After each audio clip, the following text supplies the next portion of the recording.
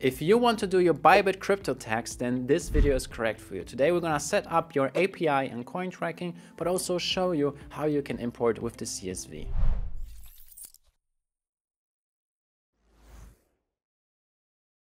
Let's jump into the computer and set up our Bybit API. First, you need to be logged in into CoinTracking and as well Bybit. In CoinTracking, there's also a guide how to do this, so I'm going to show you that. If you look for Bybit, then you will find a step-by-step -step guide how to set up the API, even with a link to get to the correct site in Bybit.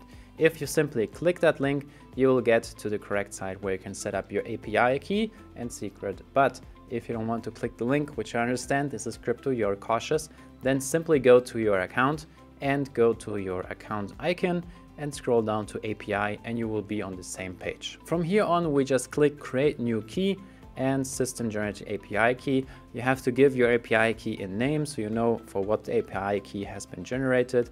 Let's say CoinTracking API video. And then we give the API the setting it's read only he, we at CoinTracking need only the read-only permission, so we only are interested in the transactions. If you create by mistake a read and write uh, API, then it will be declined by CoinTracking. Then from here on, we just select that we need all the transaction types um, exported and then click submit. Now we are getting a verification code to our uh, email. So Bybit is making sure that we are actually trying to access uh, this API and also we need the two-factor authentication to confirm this. Once we have authenticated successfully with the email and the authenticator, then we can see a big pop-up with key successfully added and we can simply copy the API key into CoinTracking. So let's do that really quick. And then also the API secret, copy that into here too. Below in the importer, we can see some settings we can adjust if we would like to but the recommended one is already selected. Down below we can also set a label for the exchange and as well a starting day when we want to like the importer to start uh, import transactions. We leave it as it is and simply click Save this Bybit job. Once the job is correctly imported, you will be notified with a big green box on the right side that the job has been saved. And if we scroll down a little bit, then we can see it is in progress and our data is getting pulled by the API into CoinTracking. Once the data from the API is loaded into CoinTracking, and it took a little while, 15 minutes from here at least, then you will be able to check the balance in CoinTracking and compare it to the balance in Bybit. For example, if we go to reporting and then balance by exchange and scroll down to Bybit, then we will see the balance in CoinTracking and if it matches the balance in Bybit. Once done, then you are ready to go to the next phase. But if you don't want to import the API and want to import the CSV or Excel file, then simply click the tab CSV Excel import and then you will have a step-by-step -step guide how to do it. Again, we provide you a handy link where you can just click on it and land on the correct side, on the export side and Bybit. But if you don't want to click link, once again, we simply go to your account, hover over the icon, click on assets, click on funding account, then on the right side, you will see history. Click on history. And here you will see on the right side again, export, and you are on the correct side, the same one CoinTracking provides. Here we're gonna just select all the accounts and options to trade so we receive all the data.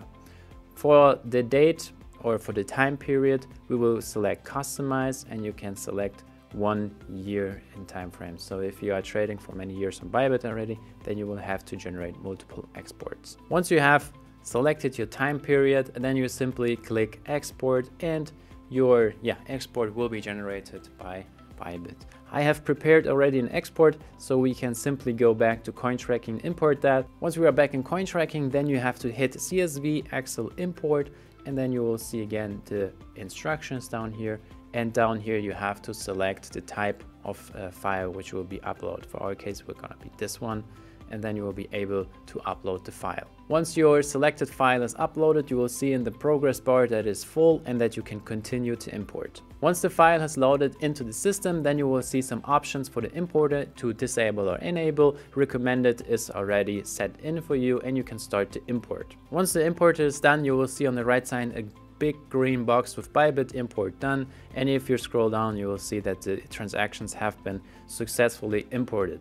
Now all you have to do, same with the API, you go back to your trades and if you import CSV transactions, then you will notice on the right side on the bottom a data recalculation is required, meaning yeah, there's new data in the account and the software needs to recalculate the whole thing so it can generate a tax report.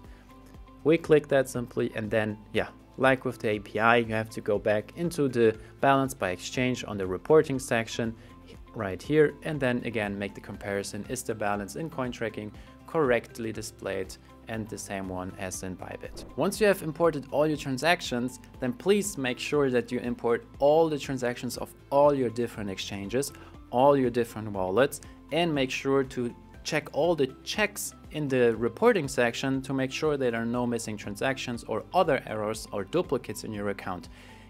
Then you can move on and generate the correct tax report. So let's move to the tax report section.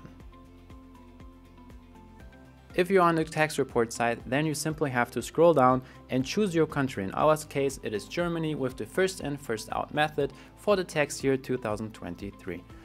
If you are hovering over the eye icon, then you will see more information about the different categories. We give you a lot of different options you can choose from for your tax report. All our recommendations are already pre-selected if you choose your country. Then you have to scroll down and simply generate a new tax report. And if you don't have a lot of transactions like I do, then the tax report is created within a few seconds and you simply can load the report. Once you load your report, you will see all the important data about your transactions, how much you made, how much you lost. And if you scroll down, you will see in big orange download tax report. Here again, you have some export options and you have the option to export in PDF or Excel. Once done, then you are ready to submit your taxes. I hope this video was helpful to you. If you need anything else, please comment it down in the comment section down below and we are ready to help you. Please give the video a like, subscribe to the channel and we're gonna see you in the next guide. Bye bye.